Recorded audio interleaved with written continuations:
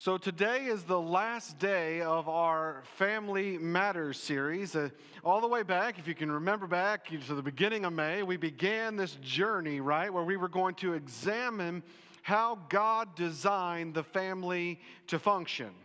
And we recognize that, I mean, we recognize that every family, you know, I mean, all families are different, right? Every, families come in every shape and, and size, and, and that familial relationships vary, but we wanted to see uh, what God intended uh, for us when He created families. Does uh, what we uh, are experiencing in our homes match up with what we see in Scripture?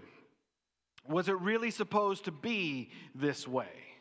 And, uh, and so, since that time, we have taken a long look at marriage. We've talked about uh, conflict in the home and parenting and, and mothers and grandparents and children. And if you've missed any of these, I encourage you to go back, go to, go to our website. You can find all the messages there. Uh, you go to our Facebook page, wherever. Uh, but by now, we, we know that God designed the family so that He might live in the family and that he might move among the family right? Just like our hearts, God desires to dwell in our homes. In fact, He desires that, that place of prominence that we might prioritize godly living in our relationships.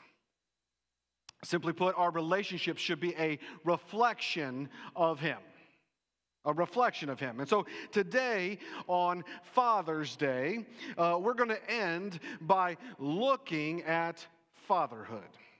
Fatherhood, specifically the heart of the Father.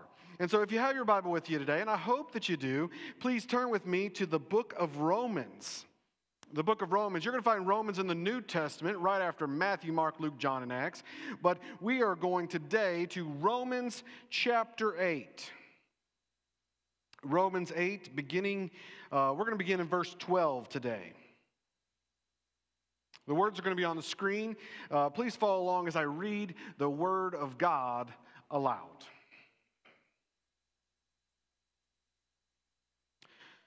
So then, brothers and sisters, we are not obligated to the flesh to live according to the flesh.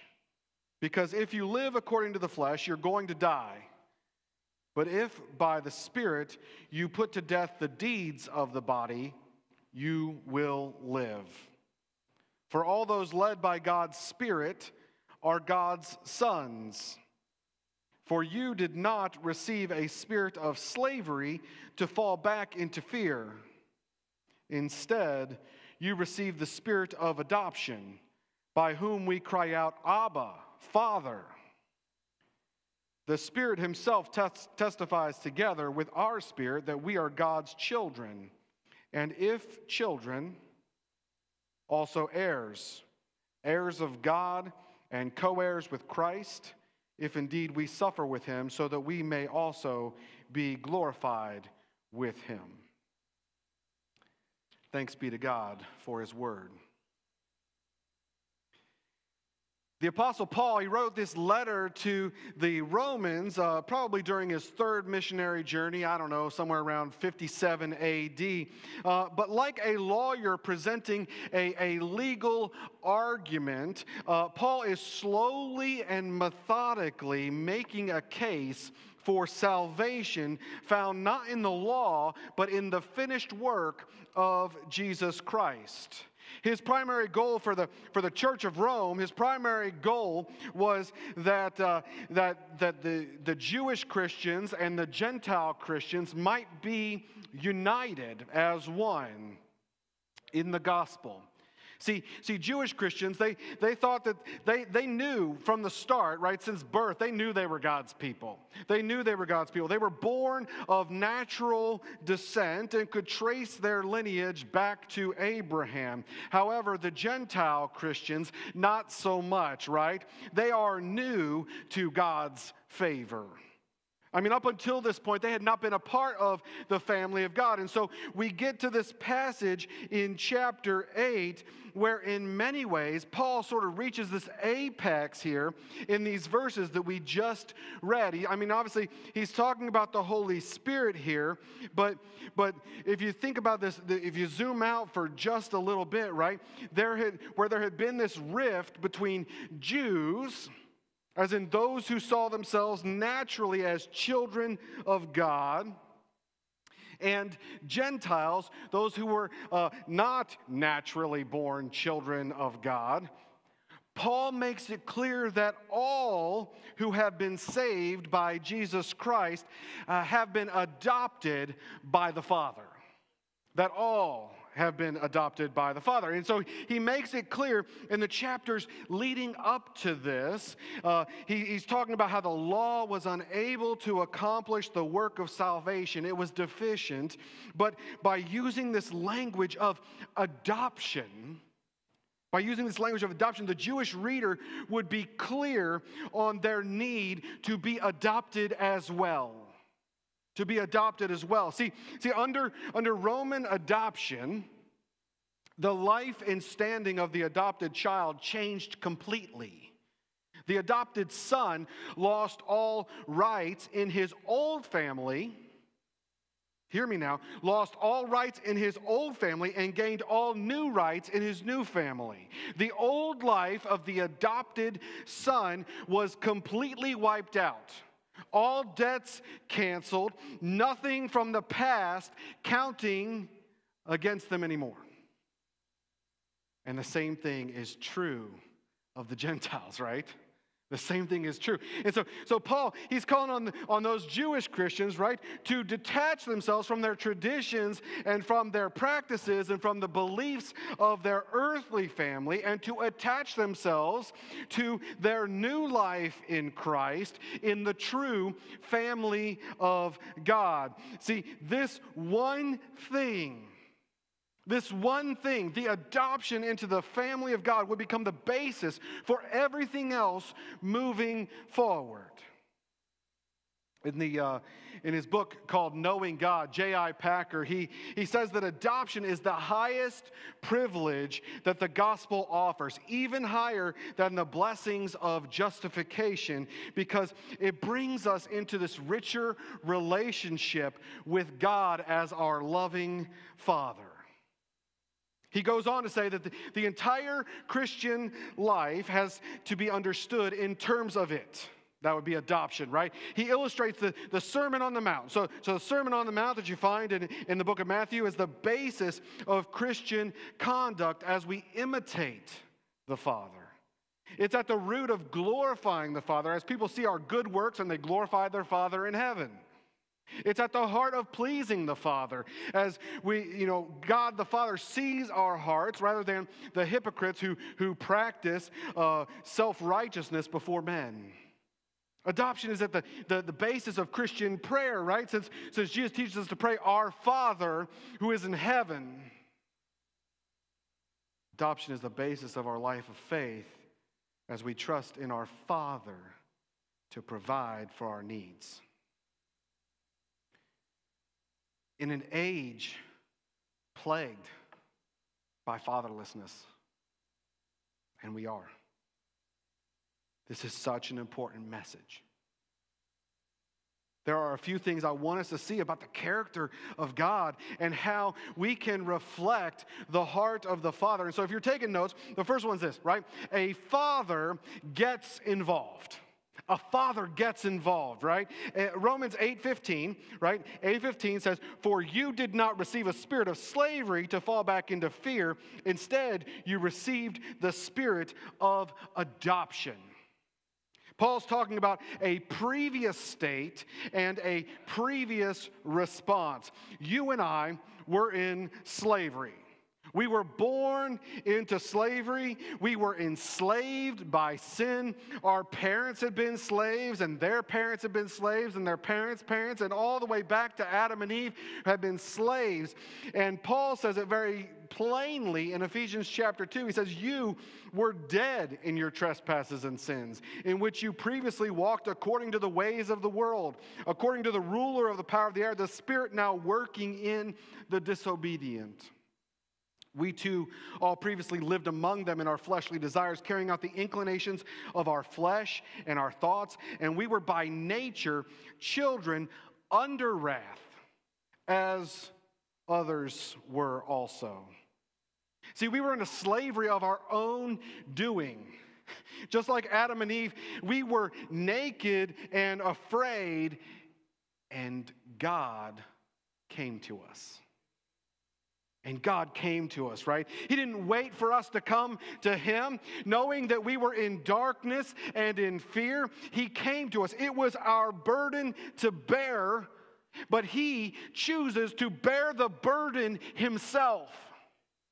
He takes what was our load, what was our baggage, what was our problem, and he puts it on himself. Galatians chapter 4, verses 4 and 5 says, When the time came to completion, God sent his son, born of a woman, born under the law, to redeem those under the law, so that we might receive adoption as sons. See, the heart of the Father is compelled by love to get involved. He fully commits, and his commitment to redeem us results not only in our salvation, but our adoption as sons and daughters. We were orphans. We were, I mean, he was under no obligation whatsoever to get involved. He had much to lose, and we had everything to gain. The cost was great, and the burden was placed solely on his beloved Son, Jesus Christ. If that's what our Heavenly Father does for His sons and daughters, then shouldn't we love our children in the same way? I mean, we've, we've heard the comments before, right? We've heard that uh, mom's away, dad's watching the kids. Oh, you mean being a dad? Okay. Dads, you, you're not a babysitter. You're a dad. God is not a babysitter. He doesn't just watch over us, make sure we don't get in too much trouble. God didn't just spin the world into existence and sit back and watch it all just burn. He's the opposite of distant and disconnected. He's near and He's involved. Your problems become God's problems. My problems become God's problems. If it's big enough for you, it is big enough for God to get involved. And that's what He does, right? Lest we become slaves to our own fears and our own worries. Dads, in the same way, in the same way, we should be attentive to our children and engage them where they are. So many times, dads are so fixated on being successful. They're so invested in their business that they leave the raising of their children, the training and the transferring that we talked about just a couple weeks ago, to somebody else. Our flesh, our flesh just pulls us towards power, money, position, and status. But I assure you, our children do not love us for that. In fact, I don't, even, I don't even think they care about it. We believe that certain things are, we convince ourselves that certain things are necessary to provide for our family. I have to do that. But, but at what cost? At what cost? God's not impressed with that new title that uh, I just got. But it comes with a raise. He don't care. He's not impressed. He didn't call us to that. He called us to be involved in the disciple making business. And if we're about if we're going to be about his business, the business of our father, then we need to be uh, the father of our children. I mean, think about it like this. If you don't do your job as an employee, your work, your business, your company will find someone else to do it. If you don't do your job as a dad, that job remains unfilled. Your child will be absent a father because being a father is more than a role, it's a responsibility. You may convince yourself that you're doing what's best, making money and providing for the family, but other people can do your job. Other people can do it. You don't need it. Other people cannot be a dad for you. And so we need to do the things that only we can do. Do those things first. Don't be uh, content to abdicate your role as father, your fatherly responsibilities to your wife. As great as mom is, and moms, you're great, they cannot be a dad. And so, a godly father is going to communicate and collaborate with his wife for sure, but he will also be intimately involved in rearing the children whom God has entrusted to him. The next thing we need to see is that a father provides security. A father provides security. See, in the Roman world, adoption was a very serious matter. It was a very serious matter. An adopted son was a, uh, a son who would deliberately be chosen by his adoptive father to perpetuate his name and to inherit his estate. See, they would have all the rights and the privileges of all of those bearing the name of the father. Any adopted son would not be inferior uh, in status to any natural born son. And this, this is what the Lord has done for us. We were orphans. We had nothing, right? We were deserving of nothing, but God got involved. He knew our broken condition. He knew it. He wasn't duped. He knew our broken condition. He knew what state we were in. Anybody else is going to look at us and go, man, that's a lost cause. A terrible investment. What a waste. And unfortunately, some of you may have heard those words from your own father. But God steps in and adopts us. He steps in and adopts us. He says, I, I will provide for you.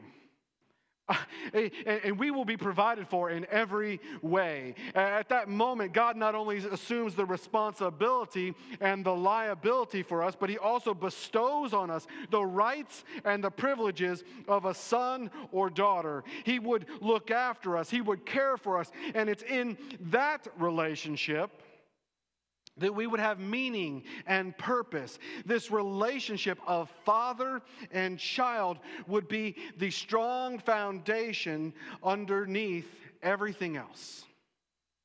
We would no longer be slaves to fear, but we could stand firm knowing that we are beloved sons and daughters of God. Paul writes, he says, For you did not receive a spirit of slavery to fall back into fear, but instead you received the spirit of adoption by whom we cry out, Abba. Father. Abba, Father. I mean, there is security. There is security in knowing that I am His and He has a hold of me. Many of you have memories of, uh, of your, your toddler taking their first steps. Remember what that was like? Think back. They get the courage to let go of what they're holding on to. And they sort of wobble towards you with outstretched arms. They're sort of reaching for you. And you're there, you're cheering them on, and but they're doing all they can to get to you. They're trusting that you're not going to let them fall. Fast forward a few years. The same child is learning to ride their bike. And they're kind of pedaling. You're holding on to the back seat, right? And they're pedaling faster and faster, and they say, Don't let go, Daddy! Don't let go! They feel secure as long as you're holding on to them. In the middle of the night, child cries out, and they cry out for the one who will make them feel secure. Perhaps even a child may, may be uh, comfortable getting out of bed. They will go down the hall and perhaps they'll crawl into bed with mom and dad. They feel comforted, they feel secure, and they fall right asleep. As Christians, our security, our security is in the one whom we cry out to. I mean, woe to those who cry out for anyone but Abba Father. Woe to them. I mean, we've talked about this before that the, the Abba is an Aramaic word that means father. It was a common term expressed uh, that it expressed affection and confidence and trust, but it was used in close, intimate relationships like that of a father and his child. Abba means daddy. Daddy. We cry out, Daddy, because we know that He will hear us. We know that He will come when we cry out. We know that He will answer our cries. We are comforted by His presence. And if and if we should ever doubt that we belong to Him, if we should ever doubt how He feels about us, if we ever uh, allow the fear to creep back in, or if our accuser, Satan, should try to convince us of lies, his spirit tells us over and over and over again that we don't have to go back there. We are safe at home with God because God is our Father. Romans 8:16 says the Spirit himself testifies together with our spirit that we are God's children. In the Roman world, an adoption was witnessed by uh, up to seven people. Seven people. Seven witnesses. These people, they would testify in the event that the adoption was ever disputed. Let's say the adoptive father dies and, and suddenly there's a, there's a disagreement, there's a dispute.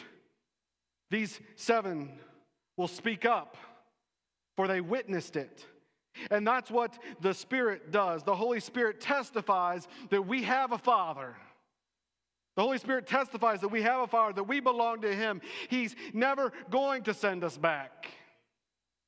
He has a hold of us and He's not going to let go.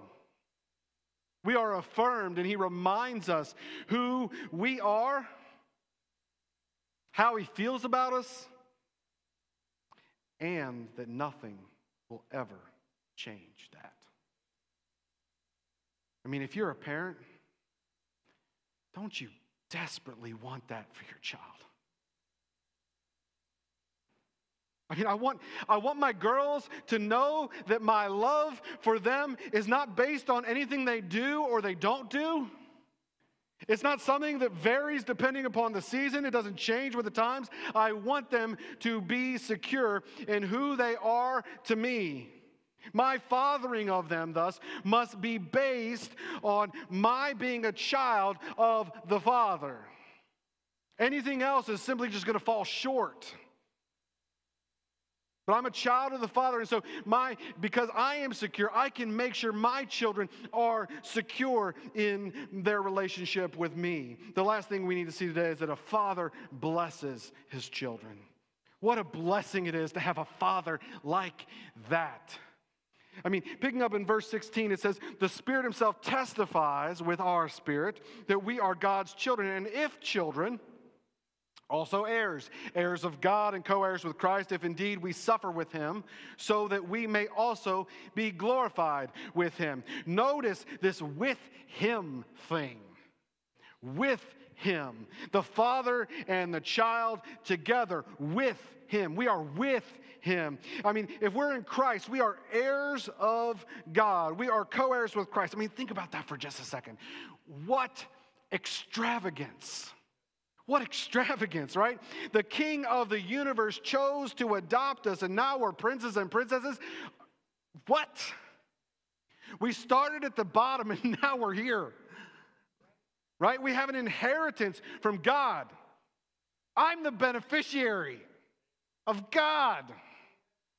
I mean, that, that, that's what the rich young ruler could never wrap his mind around right? That he wanted to know how, uh, what he could do to inherit eternal life. But it's not about doing something. It's about belonging to someone. It's not a matter of doing, it's a matter of being. And if you have been adopted by God, then you have it all. You have it all. Your daddy, your Abba Father, is the King of the universe. As Peter says, because of his great mercy, he has given us new birth into a living hope through the resurrection of Jesus Christ from the dead and into an inheritance that is imperishable, undefiled, and unfading, kept in heaven for you. It's not going to appreciate or depreciate, okay? It's not like the stock market, all right? Your inheritance is secure. Your inheritance is secure, it's kept for you in heaven. And what did we do to deserve that? Nothing. And what do we get? Everything. I mean, it's like, it's like the prodigal father in Luke chapter 15. He, he forgives his wayward son, and then he just lavishes grace upon grace upon him. You know, he puts a ring on his finger and sandals on his feet, and he grabs the best robe, his robe. He grabs his robe and puts it around him, and he gives him a kiss, right? He, he throws a party in his honor, killing the fattened calf. We deserve none of that, and yet God gives it to us. I mean, Jesus himself, he made it clear, right, that our Father delights to give us the kingdom. He wants to. He wants to give us the kingdom. And we should be the same way with our children. I mean, does that mean that we give our children everything we want? No, that's a terrible idea. God doesn't do that for us. Does that mean that we never discipline our children? No, that's a terrible idea. God disciplines us, and it's how we know that we are truly sons and daughters. So, what is it? It's that our children should feel more loved with us than not that our children should know more about God by spending time with us. Our children should exhibit more of God's character by imitating us as we imitate Him. We should leave a spiritual inheritance to our children and our children's children. As sons and daughters of God, we are blessed just by being with the Father. We are together with Him. And the same thing should be true in our homes as well. Too often I hear stories about dads who seem to do more harm than good. I mean, it's almost like they're showing their children what not to do. And there are children who have seen what happens when dad drinks too much. They now know that self indulgent partying is permissible. There are children who have listened as daddy has attacked them verbally. They now know it's acceptable to yell and curse at those you love. There are children who have never heard the words, I love you, from their dad. There are children who think they will never be good enough because of how they were pressured to meet a certain standard and how they were disciplined when they failed. I mean, there's a reason we have a term called daddy issues. There's a reason why uh, Paul writes in Ephesians chapter 6 he, that fathers don't stir up anger in your children, but bring them up in the training and instruction of the Lord. I mean, Paul, he's pleading for men not to neglect the ministry that they have at home. The best thing you can do for your children is to train them and instruct them in the Lord. It takes time, yes, about 18 years, plus or minus. It takes patience, yes, all you got. It takes endurance, absolutely, blood, sweat, tears. But it's worth it. It's difficult but being a father after God's own heart is not as complex as maybe we like to make it. I mean, we have, we have been blessed to be a blessing. We are the beneficiaries of a doting father who has given us blessing upon blessing, and we're to do the same. Dads, we can, we can make this happen because we have the best Father to model it for us. We have a loving Father in heaven who will give us everything we need. I'd like to close today a little bit differently. As the worship team comes, I'd like for us to pray over all the, the dads and the future dads here, all the men. If you are sitting next to a dad or a future dad, would you just put, their, put your hand on their shoulder? You don't need to get out of your seat. Just, just extend a hand. If, if you're not around anyone, just, just stick a hand in the air. The Lord can sort it out later. But let's pray over all the men in this place.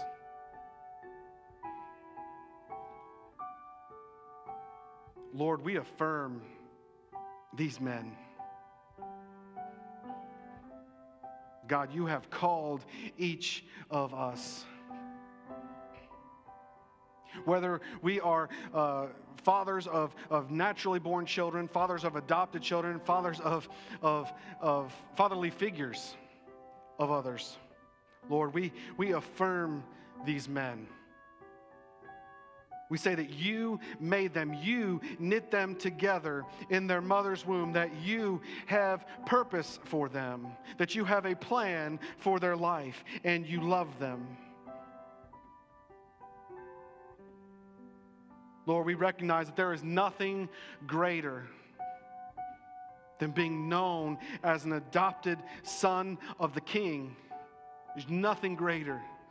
But Lord, we also recognize that there is a holy calling over each man here to shepherd their family, to steward their gifts, the ones that they have been given by you, to train and direct, and to lovingly guide those in their care.